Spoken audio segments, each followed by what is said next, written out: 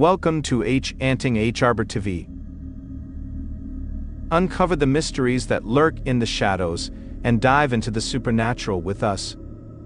I'm your host, Hamad, and on this channel, we embark on eerie adventures, explore haunted locations, and unveil the secrets of the paranormal. From abandoned mansions to cursed artifacts, subscribe, hit the notification bell, and join our community of thrill seekers.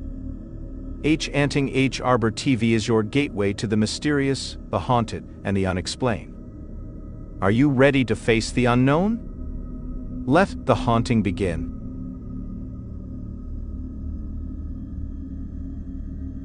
Once upon a time in the small, forgotten town of Ravensbrook, nestled deep within the shadows of an ancient forest, there stood a mansion shrouded in mystery. This imposing structure, known as Blackthorn Manor, had long been abandoned, its crumbling facade concealing secrets that whisper through the winds like ghostly murmurs. The townsfolk spoke of a cursed past, of tragedy and sorrow that had befallen the mansion's inhabitants leaving behind an unsettling residue that clung to the air. One fateful autumn evening, a group of curious teenagers from Ravensbrook High decided to explore the enigmatic Blackthorn Manor. Among them was Emily, an adventurous young girl with a penchant for unraveling the unknown. Her friends, Jake, Rachel, and Alex, hesitantly agreed to accompany her on this eerie escapade. The moon hung low in the sky as the group approached the looming mansion. Ivy snaked its way up the decaying walls, and the moonlight cast eerie shadows through the shattered windows. As they pushed open the creaking front door, a cold gust of wind seemed to welcome them, whispering tales of a haunted past. The interior of Blackthorn Manor was frozen in time with faded wallpaper peeling away like the layers of forgotten memories. Dust danced in the dim light filtering through cracked windows, and the air was thick with a palpable sense of foreboding. The group cautiously made their way through the dilapidated hallways, their footsteps echoing like distant whispers. As they explored further, they stumbled upon a room that seemed to defy the decay surrounding it. The door groaned open to reveal a pristine, miniature world within, a dollhouse. Its delicate exterior showcased an intricate replica of Blackthorn Manor, complete with tiny furniture and eerily lifelike dolls. The dolls within the miniature mansion were frozen in hauntingly realistic poses. Some wore expressions of despair, while others seemed to gaze into the void with vacant eyes. The centerpiece of the dollhouse was an eerily accurate representation of the group themselves, standing in the exact positions they were at that very moment. Emily's eyes widened with a mix of fascination and unease as she examined the dolls. A strange compulsion took hold of her, and she reached out to touch the miniature version of herself. The moment her fingers made contact, the atmosphere in the room changed, and an otherworldly energy enveloped them. The room seemed to come alive as the dolls started moving, mirroring the actions of their human counterparts. The tiny Jake, Rachel, and Alex walked through the miniature mansion, their faces contorted with silent screams. The dolls of Emily's friends were drawn towards a room in the dollhouse, a room they had not yet explored in the real Blackthorn Manor.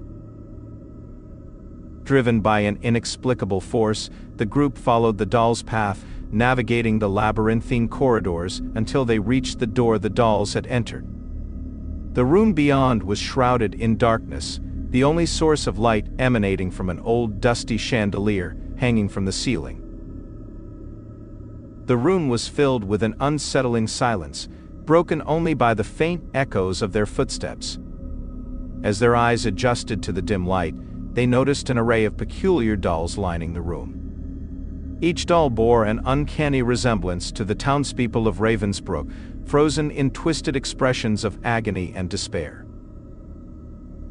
At the center of the room stood a large, ornate dollhouse, the dollhouse of despair.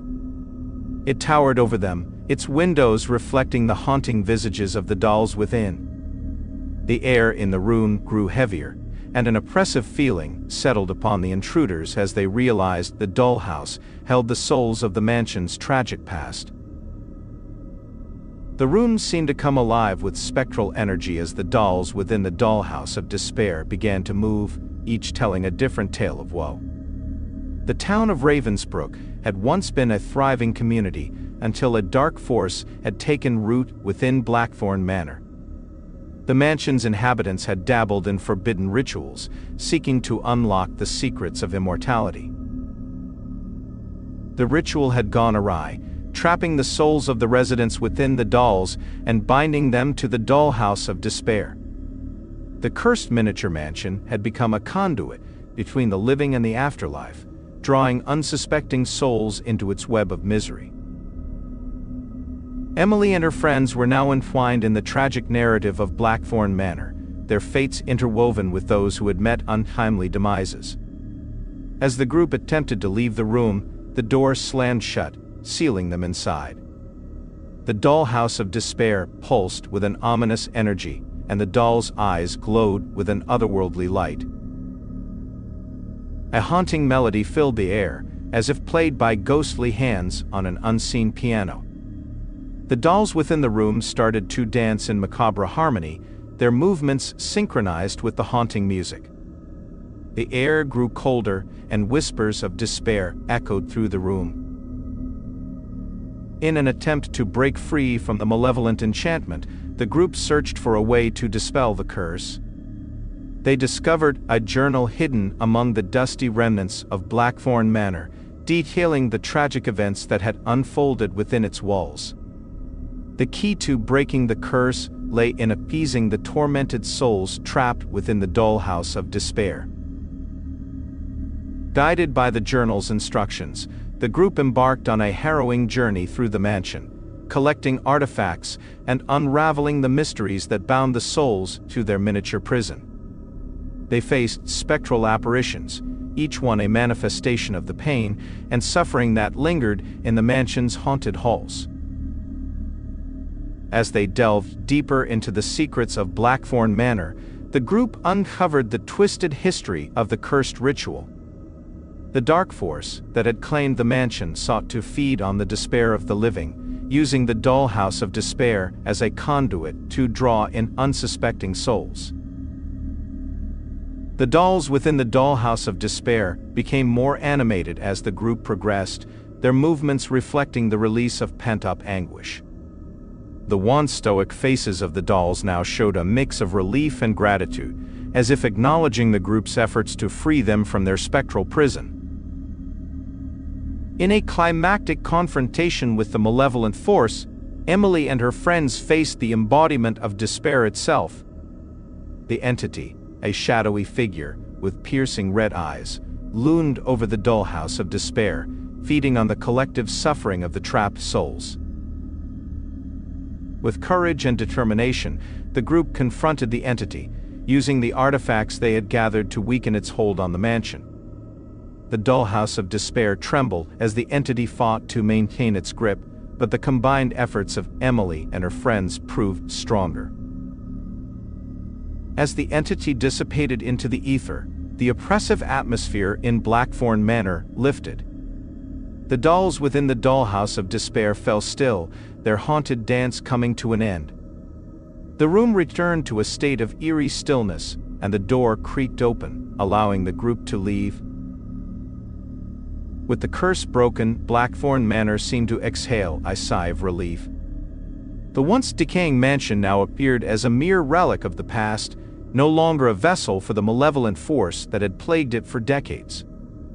The dollhouse of despair stood silent, its miniature inhabitants freed from the torment that had bound them. As Emily and her friends exited the room, they found themselves back in the dilapidated hallway of Blackthorn Manor.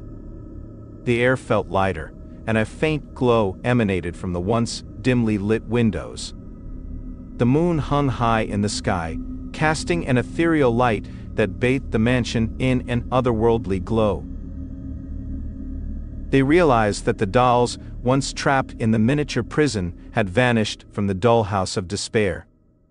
The room now stood empty, a testament to the group's success in breaking the curse that had gripped Blackthorn Manor for so long. The dolls, once frozen in states of despair, had found peace. The journey out of the mansion was eerily serene. The group retraced their steps through the now hallowed halls, the once menacing whispers replaced by a gentle breeze that carried a sense of gratitude. As they approached the grand entrance, the front door swung open with an ethereal grace, inviting them to step into the moonlit night. Emerging from the depths of Blackthorn Manor, the group felt a profound sense of accomplishment. The town of Ravensbrook, once shrouded in the shadow of the cursed mansion, seemed to awaken from a long, troubled slumber. The darkness that had loomed over the community began to dissipate, and the air was infused with a newfound tranquility. News of the group's daring venture spread throughout Ravensbrook, and the townsfolk, once wary of the haunted mansion, began to reclaim their confidence.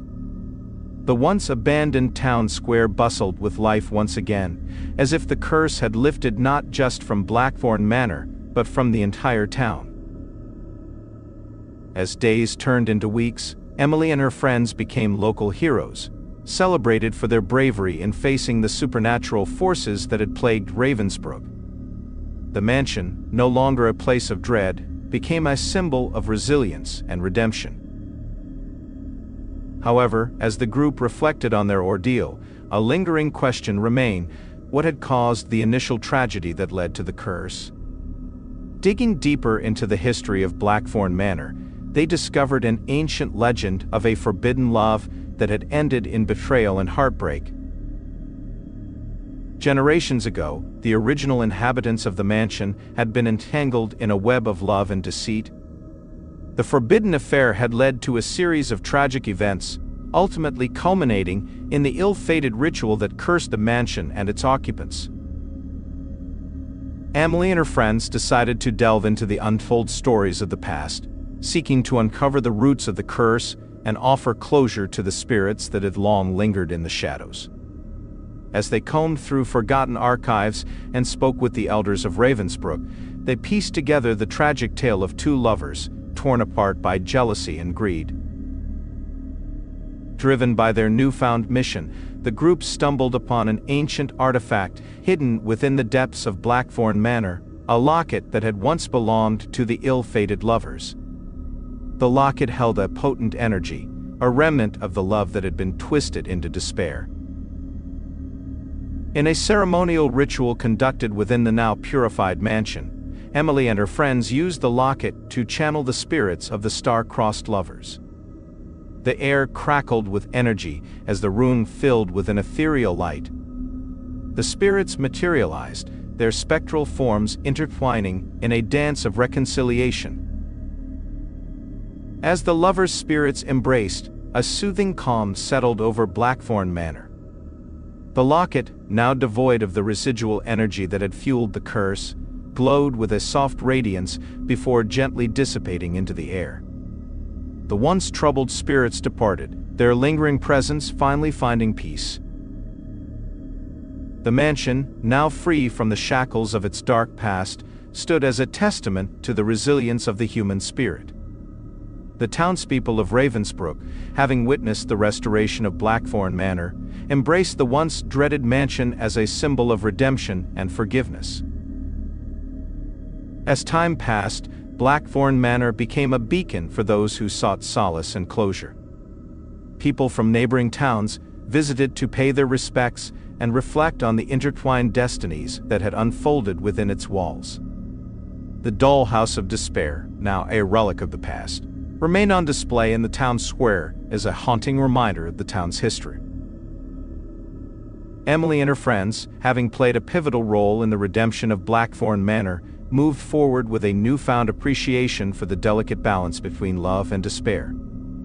The once abandoned town of Ravensbrook flourished, its residents living in harmony with the echoes of the past, transformed by the resilience of the human spirit and the power of redemption.